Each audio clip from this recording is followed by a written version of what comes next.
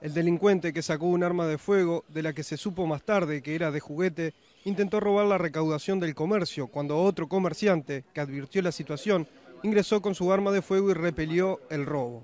Fue así que el ladrón resultó herido de bala en el rostro y en el cuello. Debido a las heridas que sufrió, tuvo que ser trasladado rápidamente a un centro asistencial donde a esta hora su estado de salud es reservado. Yo escuché los tiros, este, dos tiros, y vi a una persona con revólver, pero no la reconocí en el momento que es un comerciante. ¿Qué hizo en ese momento usted?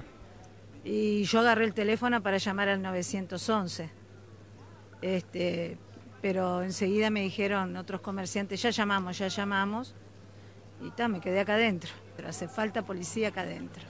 Todos los bloques tienen guardias de seguridad, pero el centro comercial tiene uno solo en cada turno. Y lo que precisamos es policía, justamente, porque los guardias de seguridad no están armados.